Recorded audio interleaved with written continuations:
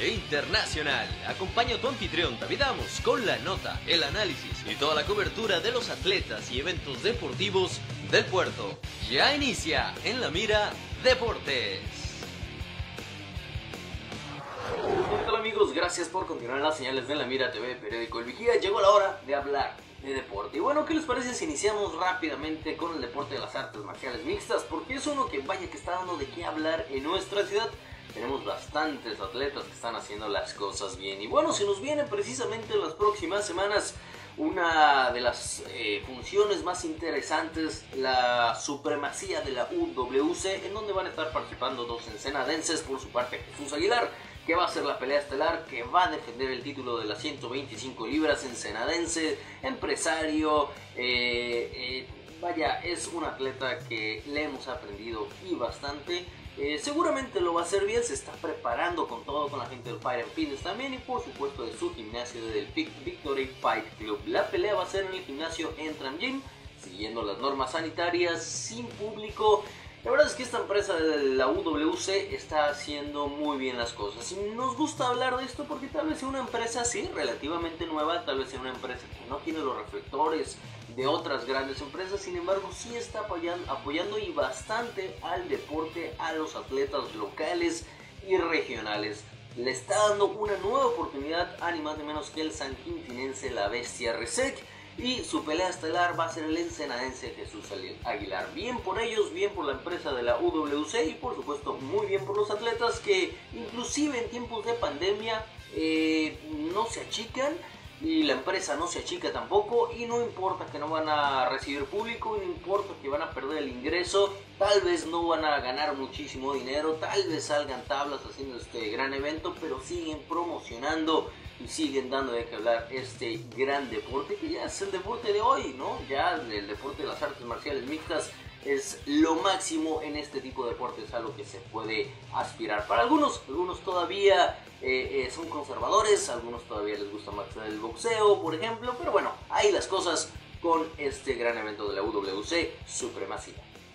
Y aquí nos vamos a una nota de aclaración. que les quiero decir? Bueno, que eh, la titular de Inmodere, Laura Marmolejo, aclara que no hay contagiados en el instituto. ¿De dónde salió esta noticia? Bueno, es que hay una chica eh, licenciada en activación física que se dio una vuelta por el Deportivo Sullivan. Estaban en pláticas para ver si podían trabajar, si se podían sumar al equipo de trabajo de Inmodere simplemente práctica, simplemente ver en qué se podía, eh, pues vaya a sumar, así es precisamente, y resulta que esta chica salió positiva en COVID-19, por lo tanto puso en riesgo de contagio también a la titular Laura Marbolejo.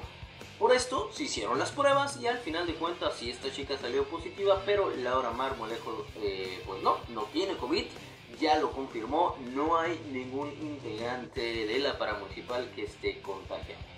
Y ahora sí, para toda la gente de la natación, para todos los nadadores que les encanta este bonito deporte, ya están por fin abiertas las instalaciones de la Ciudad Deportiva en Valle Dorado. Van a ser dos turnos, en la mañana, por supuesto, y en la tarde. La mañana de 6 a 12 y en la tarde, eh, pues, eh, el horario vespertino no se podía abrir, eh, les comento, porque, bueno, había minerales que se habían quedado estancados en la alberca, que necesitaban una limpia, por supuesto, eh, mantenimiento, vaya que es algo muy normal en las albercas. Y entonces sí, ya abrieron sus puertas y está la de vida digna funcionando desde hace algunos, algunas semanas, vaya, y también la de la ciudad deportiva. Recuerden que hay que ir con tiempo, que hay que apuntarse, que hay que ver si hay lugar, que hay que seguir todas las normas sanitarias para poder disfrutar del deporte de la natación en nuestra ciudad. Y aquí nos vamos al deporte del boxeo, así es, estamos hablando del boxeo para aquellos puristas que les encanta este deporte 100% mexicano. Rafael Furioso Guzmán, boxeador, está de regreso después de tres años de inactividad. Está de regreso, ¿por qué? Porque va a acompañar a otro gran boxeador ensenadense, Chema Ocampo, que se van a ir precisamente este fin de semana, este sábado, a pelear con la empresa Sanfer, con Box Azteca, a las instalaciones de TV Azteca este sábado a pelear y enfrentarse.